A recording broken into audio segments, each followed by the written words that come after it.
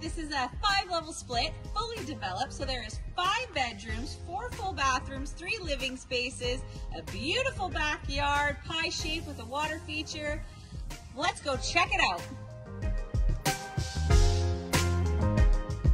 As you walk in this five level split, you have a tiled front entry, a closet, a couple stairs up to your main living room area, laminate floors, lots of windows with light coming in, these beautiful vaulted ceilings that are so grand. We even have a skylight letting in extra light from the top. And then we go to our eating area and kitchen. Let's go for a tour.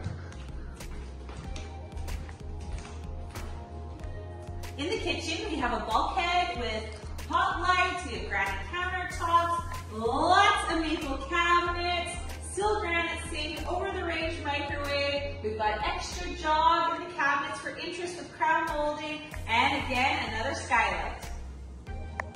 We look onto the main living space with more windows, fireplace, built-in details, a great entertaining spot.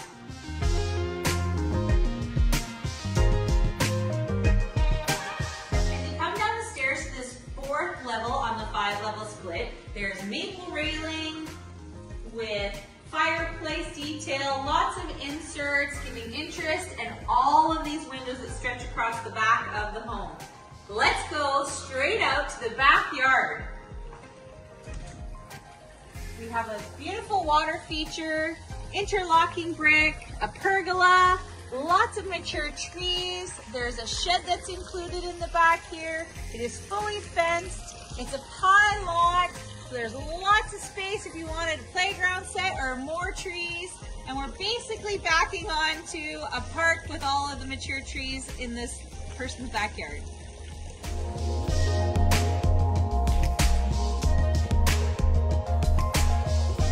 On this fourth level also has a full bedroom and a full four-piece bathroom with linen closet, tub shower, tile floors.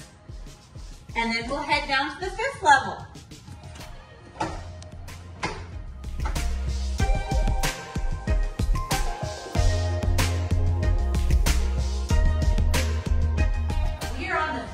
Level in this split and it was just developed only two years ago. So there's a lot of modern features down here, like the vinyl plank flooring, even on the stairs.